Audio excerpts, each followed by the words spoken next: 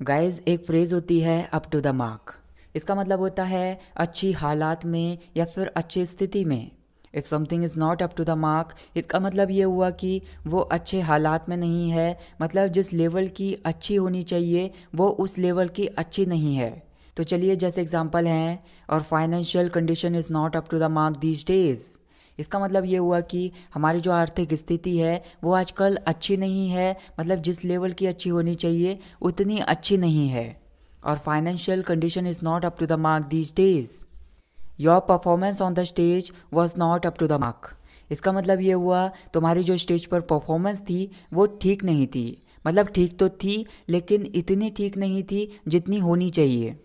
Your performance on the stage was not up to the mark I am not feeling up to the mark today इसका मतलब ये हुआ, आज मुझे ठीक महसूस नहीं हो रहा है। मतलब जिस लेवल का ठीक मुझे होना चाहिए था, उस लेवल का ठीक मुझे नहीं लग रहा है। I am not feeling up to the mark today your way of doing this work is up to the mark इसका मतलब ये हुआ, तुम्हारा जो ये काम करने का तरीका है, वो अच्छा है, ठीक है।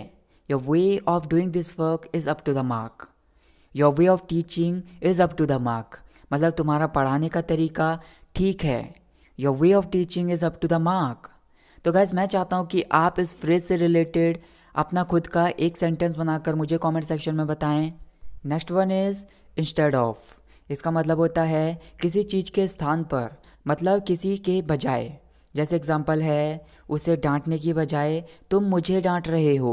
Instead of scolding him you are scolding me instead of scolding him you are scolding me उसने कोल्ड ड्रिंक पीने की बजाय पानी पिया।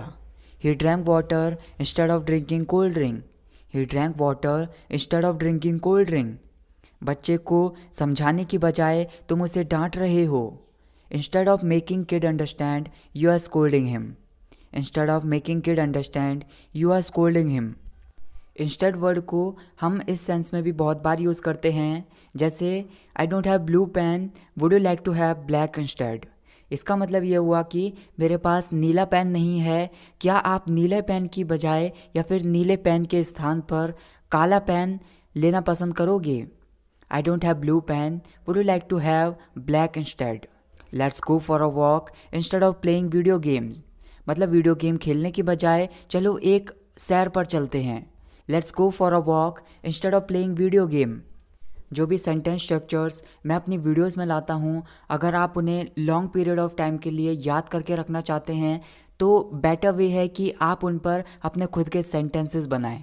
और अगर मुझे कमेंट सेक्शन में बता दोगे तो और अच्छा होगा, इससे आपकी प्रैक्टिस भी हो जाएगी और मेरे लिए भी अच्छा होगा। और अगर वीडियो पसंद आई तो वीडियो को लाइक कीजिए शेयर कीजिए। Thank you so much for watching this video I'll catch in the next video take care